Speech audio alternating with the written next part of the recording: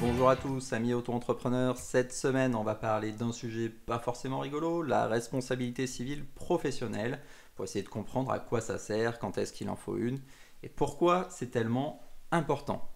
On va notamment parler du fait que parfois, suivant votre activité, euh, ces responsabilités civiles sont tout simplement obligatoires.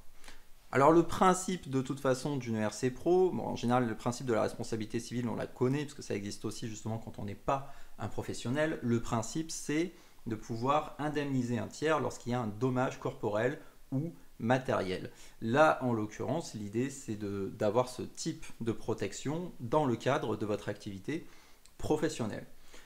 Ce que j'aime bien dire, c'est que ça se passe souvent pas comme on pense. C'est-à-dire que souvent, par exemple, on se dit, oh, je sais pas, moi je fais des sites web pour les gens, je vois pas trop comment je pourrais euh, leur causer du tort. Mais en fait, euh, c'est rarement directement lié à votre activité, ça peut être complètement indépendant. Euh, ça peut être parce que pendant une réunion, vous renversez votre café sur le MacBook à 5000 euros de votre client. ça peut être parce que en reculant sans faire attention, vous emboutissez la voiture de votre client. Enfin, ça peut être en fait tout un tas de choses qui se passent dans le cadre professionnel, mais qui ne sont pas du tout directement liées à votre activité. Alors évidemment, si en plus vous avez une activité un peu sensible, bah, c'est d'autant plus utile, mais vous voyez bien qu'en fait, c'est vraiment pour se protéger tout simplement des accidents de la vie dans le cadre de votre activité.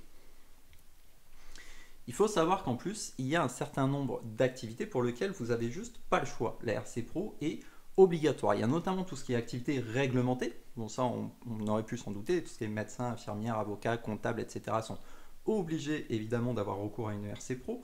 Il y a tout ce qui est dans le bâtiment, alors ça aussi souvent on le connaît, alors on connaît aussi beaucoup la décennale qui est encore autre chose, mais la responsabilité civile est également obligatoire. Tout ce qui est dans l'automobile, dans l'immobilier, les agences de voyage, tout ce qui est santé et bien-être, le transport de marchandises et de voyageurs, ainsi que l'organisation d'événements, de culture, de loisirs et d'activités sportives. Dans tous les cas, honnêtement, ce qu'il faut retenir sur la RC Pro, c'est qu'il n'y a vraiment pas de bonne raison de s'en passer. Euh, ça coûte en général quelques centaines d'euros par an suivant votre activité.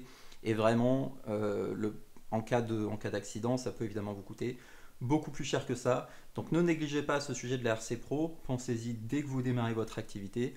Et si vous avez des questions dessus, comme d'habitude, vous n'hésitez pas à nous contacter. On sera là pour y répondre.